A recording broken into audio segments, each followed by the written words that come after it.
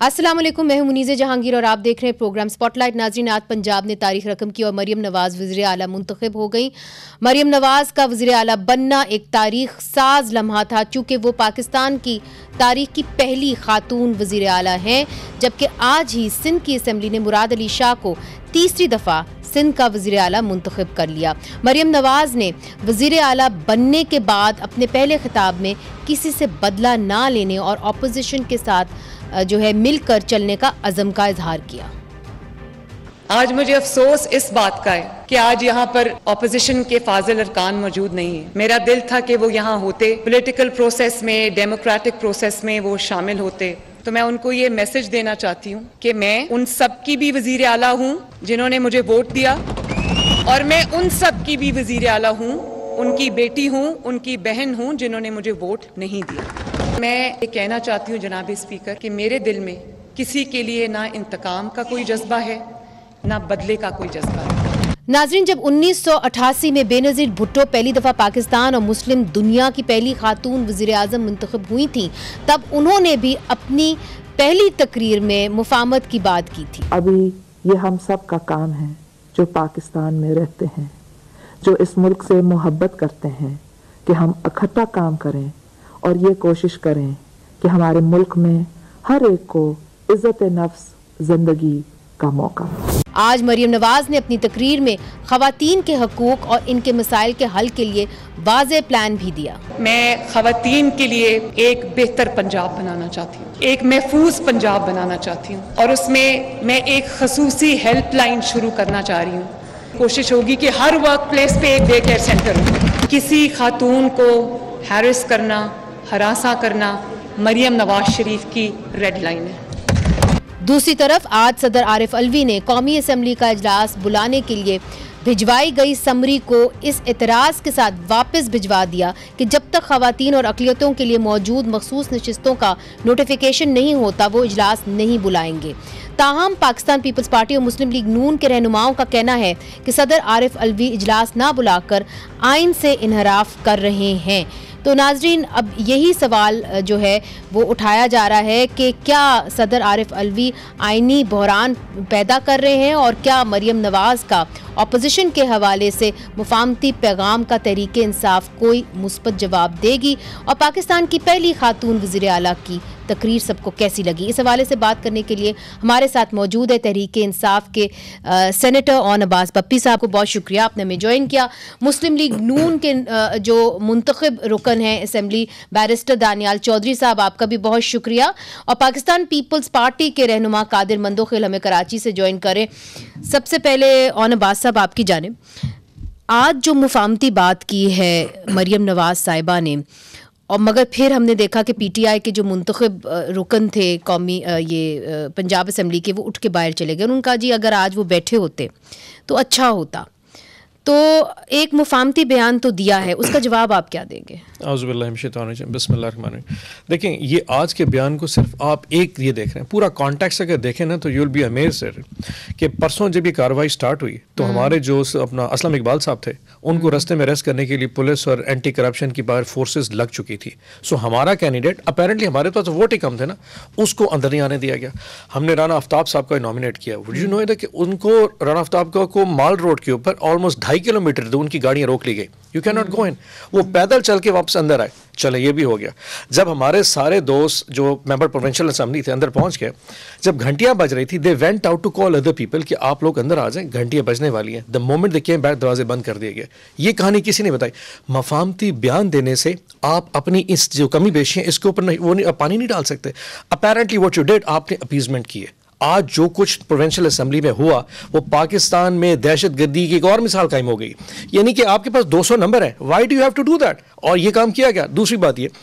आपके घर चोरी हो जाए ठीक है? और चोर आपको कहे कि जनाब चोरी तो मैं माल तो अपने पास रखूँगा लेकिन मैं तुमसे सुलह करना चाहता हूँ। हमारा मैंडेट चोरी हुआ है। एवरीबडी न्यूज़ के हम 170 80 सीटें जीत चुके क्या एक, एक, एक सवाल मैं एक सवाल आपसे पूछता तो जो पुलिस की जो भी पुलिस आपके खिलाफ कार्रवाई करी वो इनके कहने पे तो नहीं कर रही? आप कौन है इस वक्त? अगर ये आज से एक हफ़्ता पहले आपको पता है मरियम नवाज़ एक हफ़्ते से सेवन क्लब रोड पे बैठ रही है। एक हफ़्ते से सरकारी प्रोटोकॉल ले रही है। जो एंटी करप्शन हेड है जो पुलिस के हेड है जितने आई हैं चीफ सेक्रेटरी साहब है they all reporting to him how can she get away with that और इससे छोड़ा क्या आज तक मरियम नवाज़ शरीफ साहिबा ने ये कहा कि मैं जितने रिज़ल्ट आप चैलेंज कर दें उसमें से एक को हम उठा के फॉर्म 45 पे देख लेते हैं। She never said that so हमारा जहाँ पे राइट था nobody said a word आज एक मफामती बयान देने do think you get away with everything that is not the case है आपको बयान मतलब चीज़ें को थोड़ा सा प्रैक्टिकली बाय एक्शन दिखाना पड़ेगा। ठीक। सो दानियाल चौधरी साहब आपने ऑन अब्बास साहब की बात सुनी उन्होंने कहा कि देखिए आप सिर्फ़ मुफामती बयानात नहीं दे सकते आपको प्रैक्टिकली चीज़ों को दिखाना होगा और ये जो पकड़ धकड़ का सिलसिला है, इसको बंद करना होगा। अब ये तो एक बहुत बड़ा मसला है ना जी। आप लोग कह रहे हैं कि जी हम जमहूरियत और जमहूरियत की बात करें तो जमहूरियत के तकाजे तो ये भी होते हैं कि पॉलिटिकल प्रिजनर्स नहीं होते। और आपको याद होगा कि यूसुफ रजा गिलानी साहब जब वज़ीर आज़म बने थे तो उनकी पहली तकरीर में उन्होंने सारे पॉलिटिकल प्रिजनर्स को रिहा कर दिया था। बिस्मिल्लाहिर्रहमानिर्रहीम। नीचे पहली तो मैं एक चीज़ करूँगा कि आज मरियम नवाज़ साहिबा का चीफ मिनिस्टर का ओथ लेने के बाद आ, मैं जिस प्रोग्राम में बैठा हूँ मुझे बड़ी खुशी है। इसलिए क्योंकि जो आपकी वालदा हैं उनकी एक पूरी ज़िंदगी की स्ट्रगल है।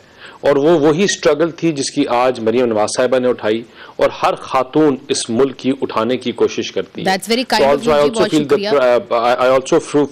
Proud sitting in the program with the right person to speak to जिसने ये तमाम चीज़ें अपने घर में देखी हैं। और जहाँ तक आज आपने ये इनके सवाल के ऊपर अगर मैं आऊँ देखिए इन्होंने पहले दो झूठे इल्ज़ाम लगाए। इन्होंने अपनी जो अ, जो है अपनी बात वही इल्ज़ाम से शुरू की कि पिछले एक हफ़्ते से उनको रिपोर्ट किया जा रहा था एंटी करप्शन और पुलिस और ये जो बिल्कुल गलत एक स्टेटमेंट है। We are one of the closest people to the now the chief minister और I have seen the way she is worked I have seen all my life is my political mentor I have seen कि उनका काम करने का तरीका ये जो है ना नफरत की जो इंतकामी सियासत ना वो इस चीज़ में बिलीव करती हैं ना उनका इसमें बिलीफ है और ना कभी की हमने। और इनशाला जो आज उन्होंने पैगाम दिया था वो पैगाम सच्चे दिल से था उन लोगों के लिए जिनको हम उस पार्लियामेंट जब बेले बजी उनको बुलाते रहे हमारे मल्टीपल लोगों ने उनको कहा कि वापस आए। जी। फिर इन्होंने एक मिस स्टेटमेंट दी कि वो उनको बुलाने गए थे और वापस नहीं आए थे।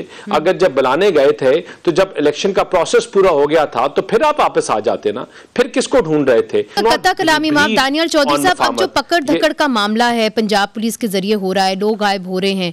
आपको लगता है कि अब चूँकि मरियम नवाज़ साहिबा ने हल्फ उठा लिया है तो अब ये सिलसिला बंद होगा?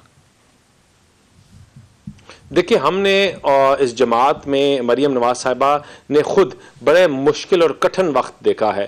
अपने वालिद के सामने उन्होंने अपने आप को गिरफ्तारी दी थी। अपनी वालदा के डेथ बेड के टाइम पे उन्होंने जेल की सलाखों में अ, के पीछे गुजारी।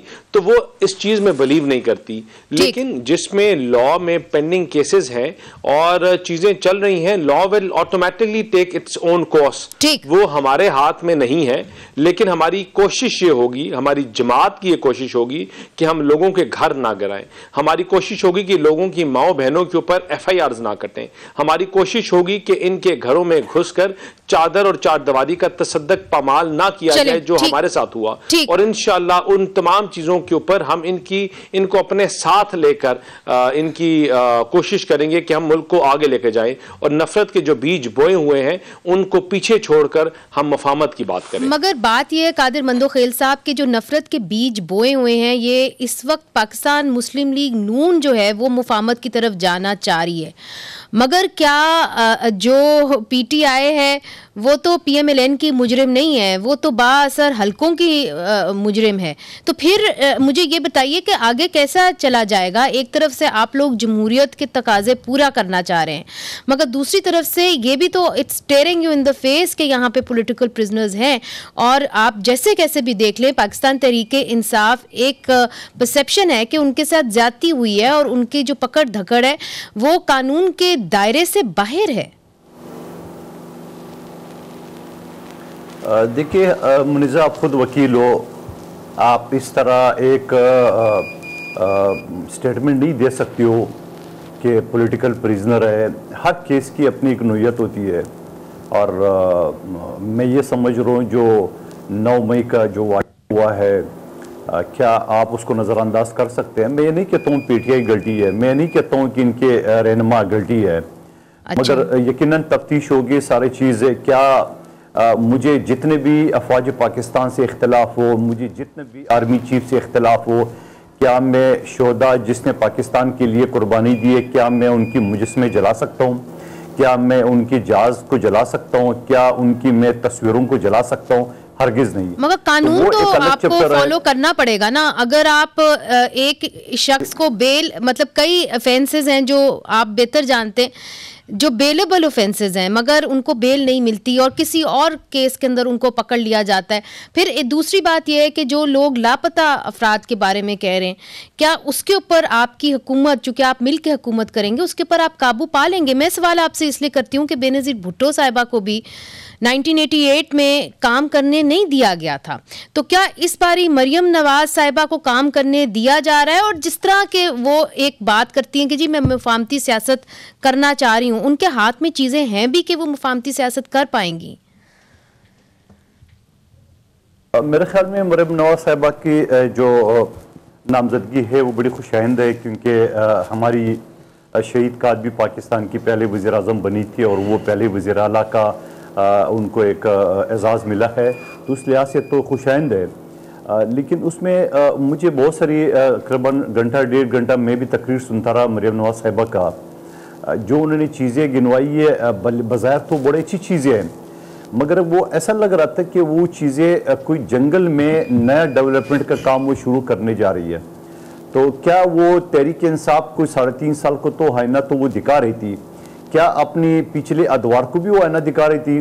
क्योंकि यूनियन कौंसिल लेवल पे जो कह रहे थे कि हम गाँव देहात में सीवरेज की लाइनें भी साफ़ कराएँगे क्या वो जो बल्दियाती निज़ाम मौजूद है वहाँ पे क्या ये उसका काम नहीं है? क्या क्या उसके अलावा अगर एयर एयर एंबुलेंस का जो ऐलान किया है अच्छी बात है क्या एयर एंबुलेंस के अलावा जो रोड एंबुलेंस से जो आए दिन पंजाब में एक्सीडेंट हो रहा है क्या उनके ऊपर काबू पाया जा सकता है? अच्छा नहीं ये बहुत ये अच्छा सवाल किया आपने। इख्तलाफ नहीं है। नहीं बल्दियाती निज़ाम में दानियाल चौधरी साहब से भी पूछूँगी मगर ऑन अब्बास साहब आपने दानियाल चौधरी साहब की भी बात सुनी और इधर कादिर मंदोखेल वो भी खुद वकील हैं। कहते हैं देखिए नौ मई के जो मुजरिम है ना उनका हम क्या कर सकते हैं? हम तो उसका कुछ नहीं कर सकते। तो आप उसका गिरेबान पकड़े ना जिसका जिसने आपके साथ ज्यादती की है आप भी उनका पकड़ लेते हैं? हमारी क्या मजाल है, हम किसका गिरबान पकड़ सकते हैं? बट सारी चीज़ों में से एक चीज़ कर देते जवाब दे।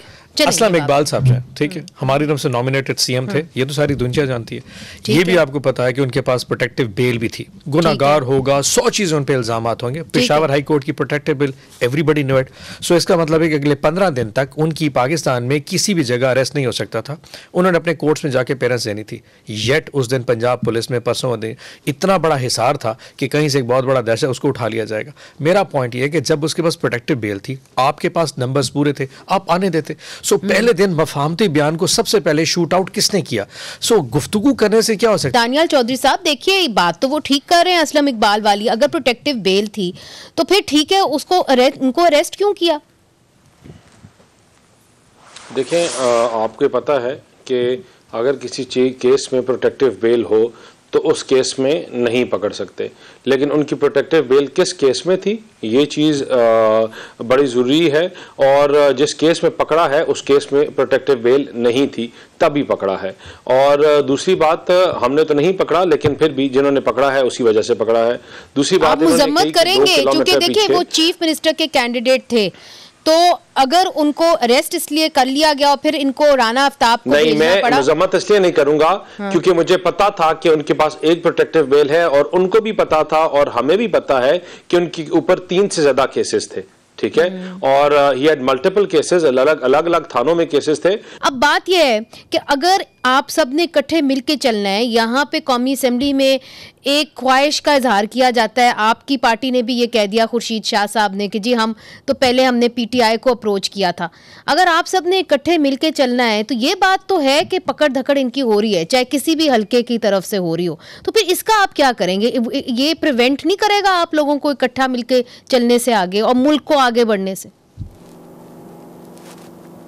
देखिए, पहले मुनिज़ जो आपने ये जो वज़ीर अला का उम्मीदवार था, पीटीआई का, और ये कहना कि उनके पास पास नहीं था तो ये मेरे ख्याल में ज़्यादती है क्योंकि एक पॉपुलर शख्सियत होता है और एक बड़ी पार्टी ने उनको नॉमिनेट किया है वज़ीर अला के लिए, और उनसे आप ये कहे कि आप पास दिखा दो तो वैसे ही उनको ओबलाइज करना चाहिए, और होता क्या है, चलो सही अगर वो गाड़ी में नहीं है तो पैदल आ गया तो इतनी छोटी छोटी चीज़ों को वैसे हमें नज़रअंदाज करना चाहिए, और माशाल्लाह मरियम नवाज़ साहिबा ने बड़ी अच्छी स्पीच की है मुफामत की तो ये सारी एक पहली कड़ी है मुफामत की, कि आप अपने मुखालफी को पास चेक करके नहीं छोड़ते हैं।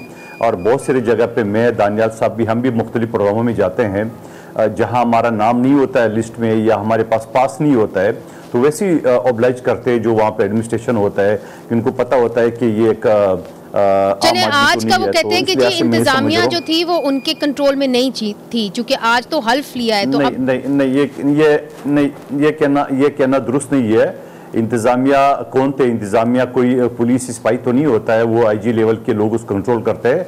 और ये जो ये समझ लो कि पंजाब असम्बली की दूसरी बड़ी शख्सियत आ रही थी मरियम नवाज़ सेबा के मुकाबले में तो ये मैं मानने को तैयार नहीं हूँ मगर सवाल मेरा उधर ही है जेलें तो इन्होंने नहीं भरी ना?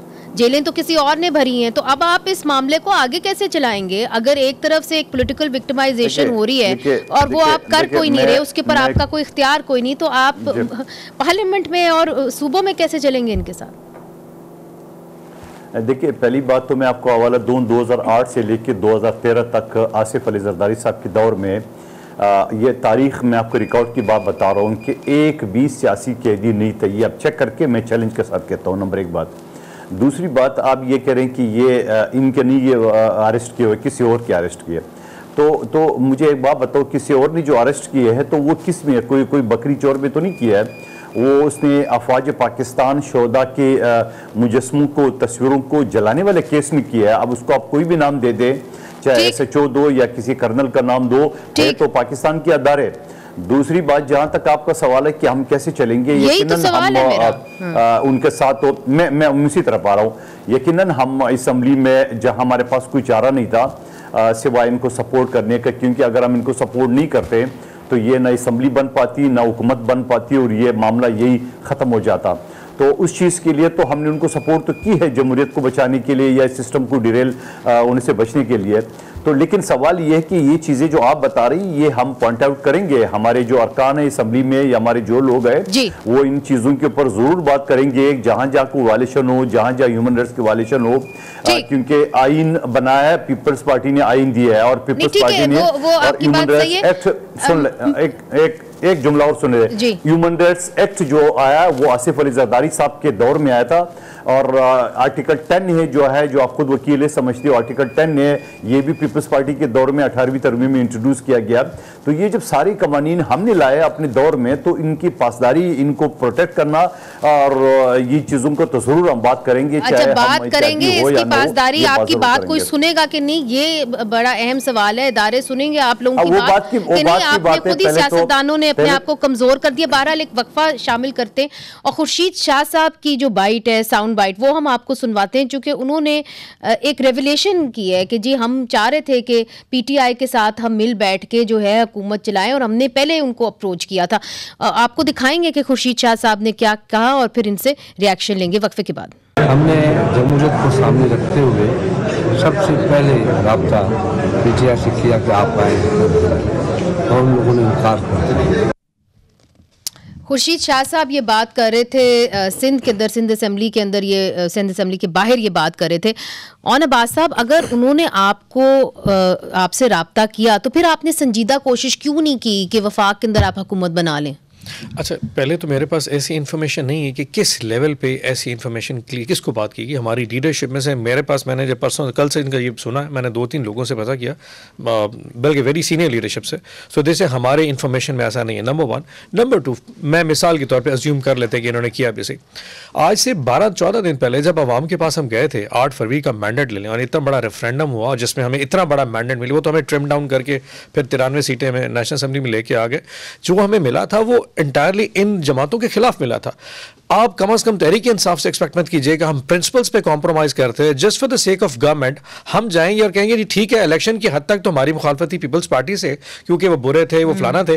अब क्योंकि हमें हुकूमत बनानी इन द लार्जेस्ट इंटरेस्ट हमें जाके पीपल्स पार्टी के साथ कॉम्प्रोमाइज करना पड़ेगा। हम्म। कादिर साहब ये जो आपका एक कॉन्टैक्ट हुआ था ये कौन से लेवल पे हुआ था? कोई ऑन अबाज साहब को नहीं मालूम कि किस लेवल पे कॉन्टैक्ट किया गया था कि जी पीटीआई और पीपल्स पार्टी मिलकर वफाक में हुकूमत बनाए अ, देखिए मुनिज़े आपके सामने शेर अफजल मरवत साहब ने बार बार मीडिया के सामने बात की है कि पीपल्स पार्टी ने मुझसे रब्ता किया है। अच्छा तो शेर अजमल उन अब्बास मरवत साहब को नहीं पता है तो तो वो तो क्या है, एक हफ़्ता पहले आपके सामने की बात है। अच्छा। दूसरी बात इनका ये कहना है कि हमने इनके खिलाफ इलेक्शन लड़ा है। इलेक्शन तो आपने मौलाना फजल साहब के खिलाफ भी लड़ा है और वो बेनिफिशरी भी आप हो। और तो उनके साथ मिलकर आप कौन सा तहरीक चलाना चाह रहे हो? माजी में जो आप एक दूसरे को बड़े गलीज गुफ्तगु से या गलीज गालियों से एक दूसरे को नवाजते थे तो वो सारी चीज़ें तो आपको याद नहीं आई है। और पीपल्स पार्टी या नून लीग के साथ आपको याद आ गई है। नहीं चलिए तो उस पर बाद में बात करते हैं मगर चलिए आपको ये ये जवाब आ गया कि शेर अफजल मरवत के साथ जो है आपका रबता हुआ था। दानियाल साहब आपकी जानब। अब देखिए रबता पाकिस्तान पीपल्स पार्टी ने पीटीआई के साथ कर लिया था तो आप कितने कॉन्फिडेंट हैं कि मिड टर्म में ये राब्ते फिर से नहीं हो सकेंगे और अगर आप लोग अभी वो मिनिस्ट्रीज नहीं ले रही पाकिस्तान पीपल्स पार्टी तो कितनी मज़बूत होगी फिर आपकी जो ये एक गवर्नमेंट है और कोलिशन गवर्नमेंट है? देखें, अगर पहले अगर हम बात करें पीपल्स पार्टी और हमारे नज़रिए के तो हम दोनों के बड़े अलग और मुख्तलिफ़ नज़रिए हैं। लेकिन हम ज़रिए, ज़रूरत के मुताबिक की की वजह से हम इकट्ठे बैठे हैं। और वो सोच ये है कि इस मुल्क को आगे बढ़ाना है, इस मुल्क में चार्टर ऑफ़ इकोनॉमी की बात करनी है। तो अगर हमारी सोच और हमारा मकसद और हदफ ये है कि पाकिस्तान को मुस्तकम करना, अपनी टांगों पे खड़ा करना और उसको मज़बूत करना तो हम साथ चलेंगे। और जिस दिन हमारा नज़रिया बदल गया और मुल्क की जगह हमारी अपनी मैं आ गई और अपना मफाद आ गया तो उस दिन हमारी फिर सोच और चीज़ों में खलल और अ, फासला पैदा। तो एक चीज़ बताइए क्योंकि आप एक बैरिस्टर हैं मैं इसलिए आपसे ये सवाल करना चाह रही हूँ कि जो सुन्नी इत्तेहाद काउंसिल है उनको क्या ये नशिस्तें जो है आपकी क्या अंडरस्टैंडिंग है? मिल जाएगी और इसके ऊपर पाकिस्तान मुस्लिम लीग नून को क्या एतराज़ है? अगर आप इनको इकट्ठे लेके चलना चाहते हैं तो फिर आप लेने दें इनको जो मखसूस नशिस्तें जो इनके पलड़े में आ रही हैं। देखें जहाँ तक पहली बात मैं मैं अगर, चलें let's not talk about religion मैं अगर आप उन सीटों के ऊपर बात करें देखें आपकी जो सीटें हैं, वो उन पार्टीज़ को जाती हैं जिन्होंने इलेक्शन कमीशन को अपनी लिस्ट पहले भिजवाई हों। हमारे साथ ऐसा हुआ था कि हमारी तीन नशस्तें थी, लेकिन हमारी लिस्ट पूरी थी तो वो हमारी जगह किसी और को दी गई। ये पुराने इलेक्शंस की बात कर रहा हूँ मैं 2013 में जब दो सीट्स थी गालबन, ऐसा कुछ हुआ था। तो जब इन्होंने अपनी लिस्ट पहले इलेक्शन कमीशन को प्रोवाइड नहीं की हुई और नहीं दी हुई तो लीगली इनके पास कोई ऐसा तरीका नहीं है कि इनको सीट्स मिल सके लेकिन अच्छा। क्योंकि इनकी आदत है कंट्रोवर्सी में पे डालने की हर चीज़ में एक इस तरह का ड्रामा करने की वो प्रेसिडेंट साहब का उसको पार्लियामेंट को बुलाने का मामला हो या कोई और हो इनको हर चीज़ में ऐसे काम करने की आदत है क्योंकि जिस तरह मैंने पहले कहा इनकी सियासत जो है वो है ही तफरीक अच्छा नफरत ठीक है मुझे आ, ये तो जो आपने बात कही है रीड करने के सर, लिए इस चीज़ की ज़रूरत ये है। जो आपने सदर की बात की है ना इसके ऊपर भी आने की बड़ी ज़रूरी बात है। इसलिए चूँकि उनतीस फरवरी को जो है कौमी असम्बली का इजलास अब बुलाना होगा कानून के मुताबिक। तो अब क्या होगा? क्या कौमी असम्बली का इजलास ऑटोमेटिकली बुला लिया जाएगा और राजा परवेज अशरफ साहब बुलाएँगे?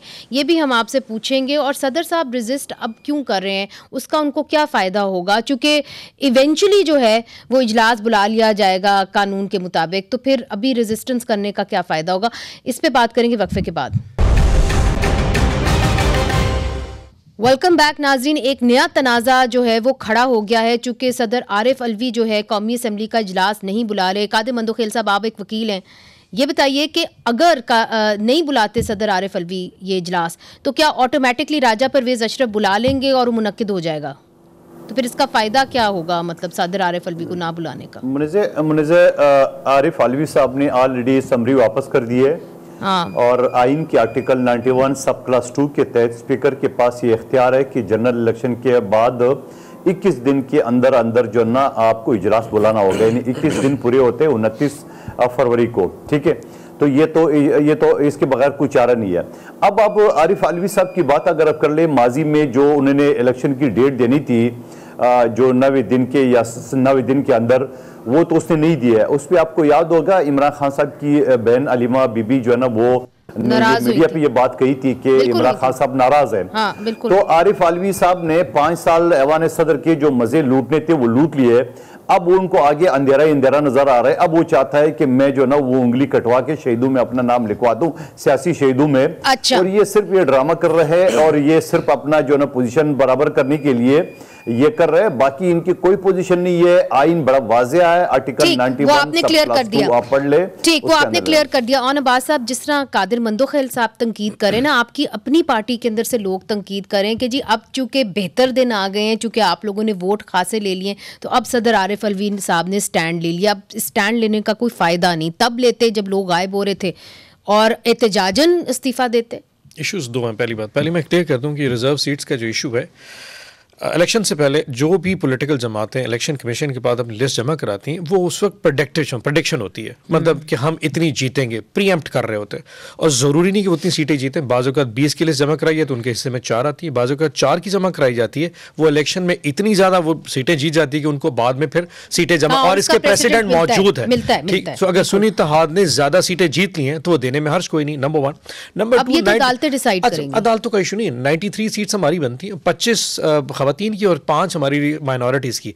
एक सौ तैतीस की फिगर से एक्चुअली इशू है कि गोल्डन फिगर सौ को क्रॉस नहीं करना मगर इजलास ना बुलाने अगली बात होगा? अच्छा वेरी फ्रेंकली अब सदर साहब का बड़ा प्रिंसिपल स्टांस है। उन्होंने कहा इस वक्त हाउस मुकम्मल नहीं है। तीस सीटें हमें नहीं दी जा रही। हाउस मुकम्मल तो तब भी नहीं था जब आप लोग हाउस से बाहर निकल आए थे। तो उससे आप लोग नहीं गए थे अच्छा, ना नेशनल तो, हम तो को, इस्तीफा देके वा- हम तो? इस्तीफे देके बाहर निकले थे। हाँ। तो उस वक्त अगर ये जो बैठे थे हम तो उस वक्त इंचार्ज नहीं थे ना वो तो ये लोग बैठे थे। अब तो इस वक्त हाउस ने हल्फ लेना है वो ओथ टेकिंग सेरेमनी यानी कि तीस लोगों को आपने उठा के असेंबली से बाहर फेंक दिया। You can not come because आप पीटीआई के हैं। बट आइदर विच वेज इजलास बुला लिया जाएगा उनतीस फरवरी को। कम अज कम वो प्रिंसिपल स्टैंड तो ले ही पंगे की बात नहीं कम अज कम अपना स्टैंड ले लिया ना। अब मज़े की बात है कल सुबह इलेक्शन कमीशन ने दस बजे लास्ट बुला लिया। और मुझे मोस्ट तो तब लेते जब आप लोग गायब हो रहे थे और कहते जी मैं एहतजाज करता हूँ नहीं मैं तो सदर साहब उसका जवाब देंगे वेरी फ्रैंकली लेकिन पॉइंट ही कल सुबह दस बजे जो ओपन कोर्ट का इलाज है आप क्या एक्सपेक्ट ईसीपी क्या करेगा? जब कभी इन्होंने ये अपना मुँह में जाना ना कानूनी किस्म की हमें ड्रामे दिखाने हो क्योंकि पहले लिस्ट नहीं थी क्योंकि हमारे लोगों ने पहले पीटीआई लिखा था ये कल ओपन कोर्ट करके हमें सारी दुनिया को ना एक बड़ा आई वॉश होगा कि आपको सीटें नहीं दी जा सकती। दानियाल चौधरी साहब फिर एक मौका वो कह रहे हैं कि जी दिया जा रहा है कि आप कम से कम हाउस मुकम्मल करें आप इनको रिज़र्व नशिस्तें दें और फिर मामला आगे बढ़ाएँ।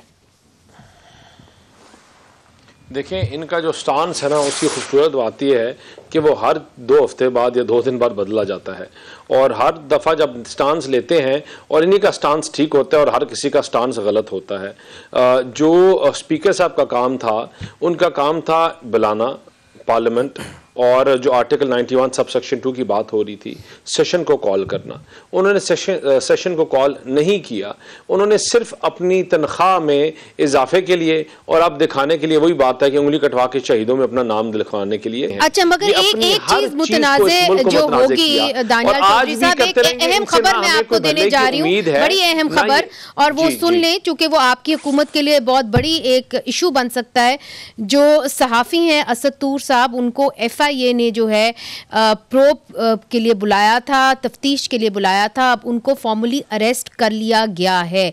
तो आज़ादी इजहार राय की जहाँ बात होती है, वहाँ पे अगर सहाफ़ियों को इस तरह हिरासत में लिया जाएगा तो आप नहीं समझते कि आप अभी हुकूमत संभाल रहे हैं, आप इसको कैसे डील करेंगे इस मामले को?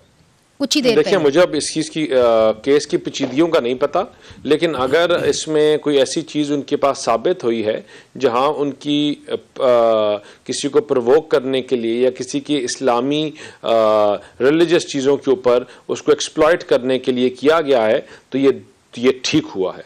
मैं एक बड़ा स्ट्रांगली एक चीज़ में बिलीव करता हूँ मैं आपको एक बात नहीं ये फैसलों पर तनकीद को थी। एक्सप्लॉयट नहीं करना ये चाहिए। रिलीजन रिलीजन पे तो कोई बात नहीं की थी। उन्होंने अच्छा उन्होंने अगर नहीं जी। अच्छा फिर रिलीजन पे कोई बात नहीं की फैसलों थी। के ऊपर जी मुझे फैसले जो हैं वो मैं तो अगर अगर फैसलों के ऊपर तनकीद के ऊपर मैं आई स्ट्रांगली कंडेम जी सहाफियों का काम है वो गलत और ठीक बात करें।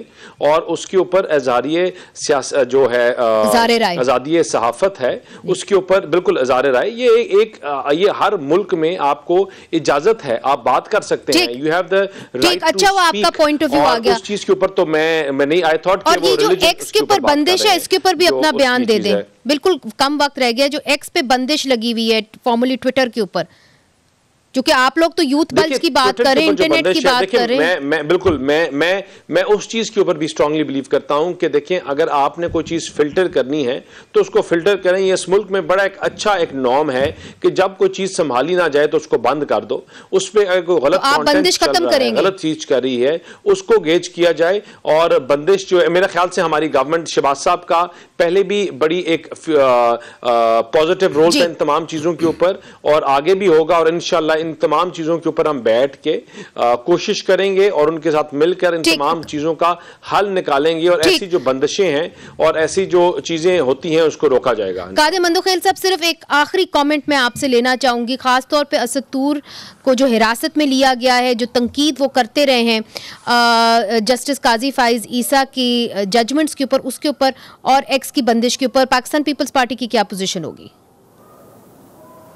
पाकिस्तान पीपल्स पार्टी हमेशा इजहार राय आज़ादी के आ, हम हिमायत करते हैं और असद तूर को और बहुत सारी जो जर्नलिस्ट है आ, उनको एक आज़ादी है तनकीद करने का हक है उनके ऊपर चाहे वो चीफ जस्टिस का फैसला हो या किसी का भी हो। लिहाजा मैं शदीद मजम्मत करता हूँ और बाकी जो ट्विटर एक्स बंद है, वो मेरे समझ से बलातर है कि उस पर क्यों पाबंदी लगाई है। सिंध हाईकोर्ट का वाजह फैसला भी आ चुका है। दो दिन पहले, मगर उसके बावजूद उसको नहीं खोला जा रहा है। क्या मकसद है इन चीज़ों की और ऐसी हरकतों से बाज आना चाहिए? मैं कहता हूँ हुकूमत बहुत बहुत शुक्रिया कादिर मंदोखेल साहब, दानियाल चौधरी साहब और नबाज साहब, आपका भी बहुत बहुत शुक्रिया। तो नाजरीन ट्विटर के ऊपर जो एक बंदिश लगी हुई है एक्स के ऊपर बंदिश लगी हुई है, उसके ऊपर जो दो हुक्मरान जमात की अहम पार्टीज़ हैं मतलब पीटीआई और पीएमएलएन जो दो अहम पार्टीज़ हैं, उन्होंने ये कह दिया है कि इसके ऊपर जो बंदिश है, वो सही नहीं है और हम इसको रिवाइज करेंगे। उम्मीद करते हैं कि जो बंदिशें लगाई जा रही हैं और जो लोग लगा रहे हैं उनसे पूछा जाएगा कि उन्होंने क्यों लगाई और ये बंदिशें ख़त्म होंगी। जहाँ तक आज़ादी इजहार राय का सवाल है तो ये एक बहुत बड़ा टेस्ट होगा जो इनकमिंग गवर्नमेंट है कि क्या वो जमहूरी तकाजे पूरे कर पाएँगे कि नहीं कर पाएँगे। मुनीजा जहांगीर को आज के लिए इजाज़त दीजिए। खुदा हाफिज़।